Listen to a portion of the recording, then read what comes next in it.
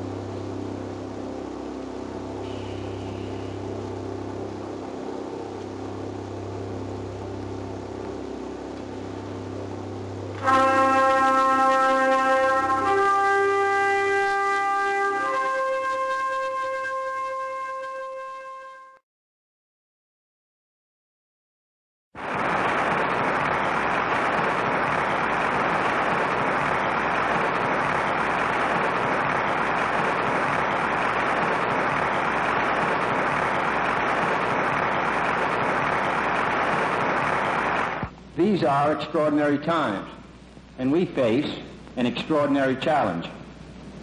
Our strength as well as our convictions have imposed upon this nation the role of leader in freedom's cause. Now going on around the world between freedom and tyranny, the dramatic achievements in space which occurred in recent weeks should have made clear to us all, as did the Sputnik in 1957, the impact of this adventure on the minds of men everywhere who are attempting to make a determination of which road they should take. Since early in my term, our efforts in space have been under review.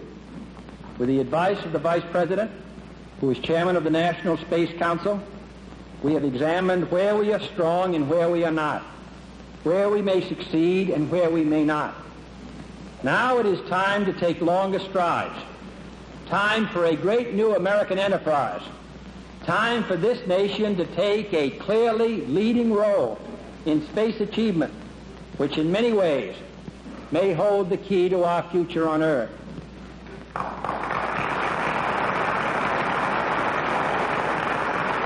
I believe we possess all the resources and talents necessary.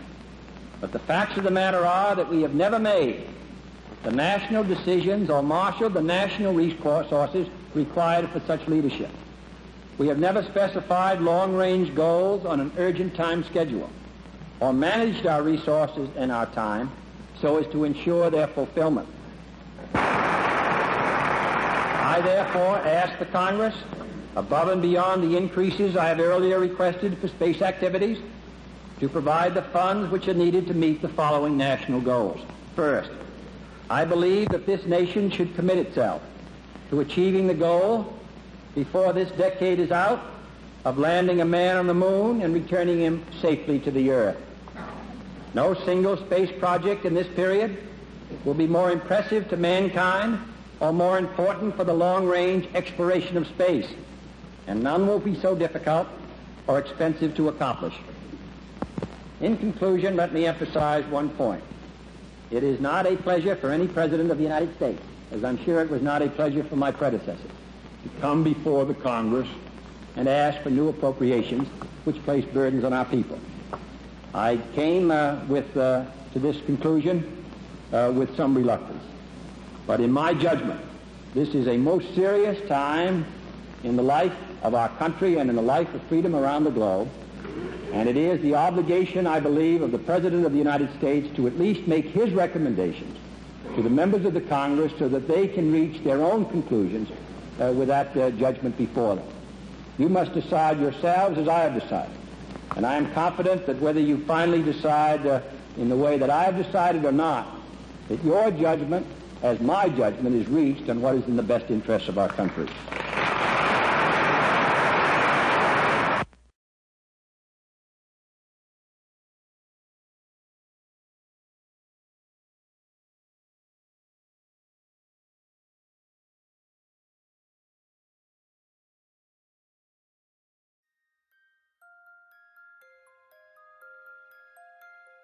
We meet in an hour of change and challenge, in a decade of hope and fear, in an age of both knowledge and ignorance.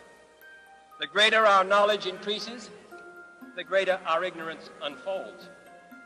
No man can fully grasp how far and how fast we have come. But condense, if you will, the 50,000 years of man's recorded history in a time span of but a half a century. Stated in these terms, we know very little about the first 40 years, except at the end of them, advanced man had learned to use the skins of animals to cover them.